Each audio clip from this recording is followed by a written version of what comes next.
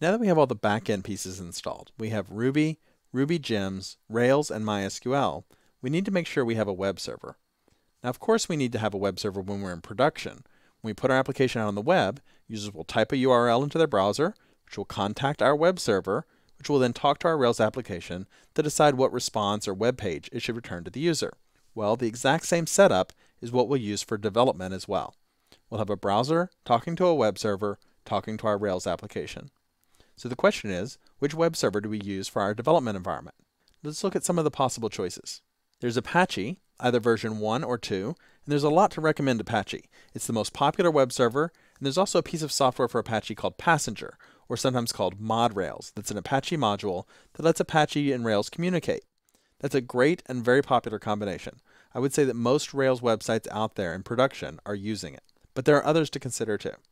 There's Nginx, Nginx is a new competitor to Apache with a lot of the same features, which have been gaining very quickly in popularity.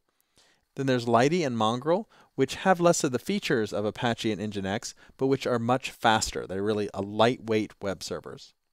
And then there's Microsoft IIS, which is a popular web server, but doesn't have as much support for Rails as it should.